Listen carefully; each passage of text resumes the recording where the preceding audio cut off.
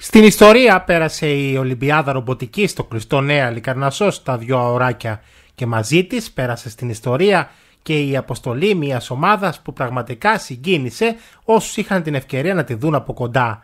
Η ομάδα του Αγίου Ευστρατείου με τη στήριξη της Eurobank έφτασε πολύ ψηλά όσο ψηλότερα μπορούσε και απέδειξε πως όλα είναι δυνατά στη ζωή όταν υπάρχει θέληση αλλά και η σωστή στήριξη. Η ομάδα του Αγίου Ευστρατείου που κατέκτησε την πρωτιά στην ηλικιακή της κατηγορίας στην τοξοβολία έφτασε και στον τελικό του ποδοσφαίρου, εκεί που έγιναν μεγάλες επιτυχίες και από άλλα ακριτικά νησιά της χώρας μας. Κάτι που περνάει ένα μήνυμα ότι όλες οι κοινωνίες, ακόμα και οι μικρότερες, έχουν τις ίσες ευκαιρίες.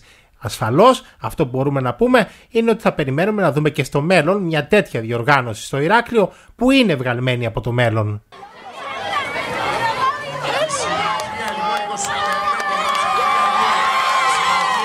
Λοιπόν, η ομάδα του Αγίου Στρατείου ολοκλήρωσε τις υποχρεώσεις της στο Minoan Robo Sports Competition 2024. Ε, η ομάδα πήγε το καλά είναι λίγο για να περιγράψει την πορεία της. Κατάφερε πήρε ένα χρυσό μετάλλιο στην τοξοβολία στην κατηγορία 10-12 που είναι. Σήμερα τα παιδιά είχαν προκριθεί στους τελικούς του ποδοσφαίρου ε, και αποκλειστήκαν στους 16. Ωστόσο ε, η αποστολή είναι άκρως επιτυχημένη. Το, το ταξίδι τελειώνει τώρα, επιστρέφουμε πίσω και όλο αυτό μένει στις καρδιές μας.